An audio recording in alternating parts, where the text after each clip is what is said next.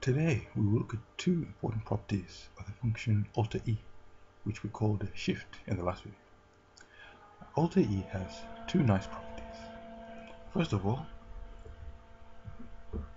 if you apply alter alter ein to a scaled cash flow, then that's the same as first applying alter ein to the cash flow and then scaling it. The second property is that alter EIN distributes over cash flow addition. So if you add two cash flows and then alter them, it's the same as altering each cash flow and then adding together the results. So let's prove these properties. First of all, we're going to prove that I suppose another way of putting this would be to say that alter EIN commutes with scaling because you see you got alter EI in here and then you got A times here. But here you got A times first and then alter EIN so they, they switched. So but let's let's so first of all we start off with this expression. And the first thing we'll do is we'll apply scaling to move A times into the cash flow brackets.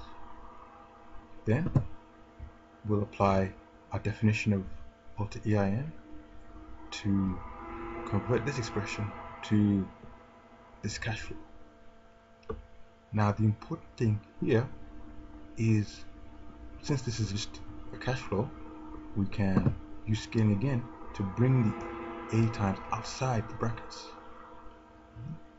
And then finally, we can just apply our definition of alter once again, and we have A times alter EINTR exit t, which is exactly what we wanted. Alright, next, now let's prove that alter EIN distributes over cash flow addition. So, we start off with this expression. First thing we do is we apply cash flow addition to merge these two cash flows into one.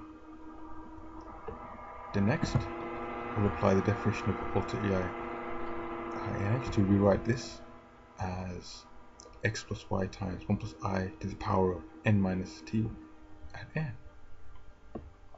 Next, we'll apply distributive, real, the fact that real multiplication distributes over real addition.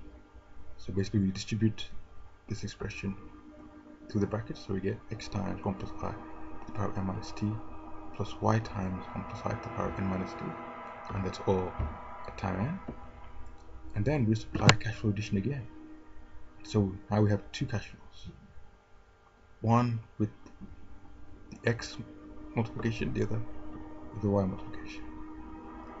All that's left to do is to apply the definition of alter EIN once more and we have our target. So alter EIN of x at t plus y at t is the same as alter EIN of x at t plus alter EIN of t.